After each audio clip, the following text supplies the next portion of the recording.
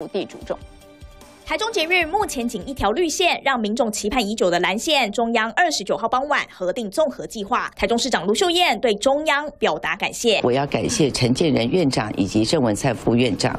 我们知道现在开守内阁期间，那他们体现到这次选举完所产生的民意，愿意有所作为。总经费超过一千六百一十五亿，其中中央分担六百七十五亿，再由地方自筹九百三十九亿。如果顺利，十年过后可完工通车。蓝线全长二十四点八公里，西起台中港，沿着台湾大道串联沙鹿火车站、市政府、台中火车站，东至台糖生态园区，规划二十座车站中，高架站八座，地下十二座，还有一座机场。但眼下出现土地问题，其中十三站十八处采连开，七处土地的地主却没参与意愿。较知名的案例就是中华宾士，这是市政府车站。那么在站体盖起来之前，原本是中华宾士，为了捷运宾士搬家搬到了。台湾大道的对面，不过现在因为连开案，恐怕又会有变动。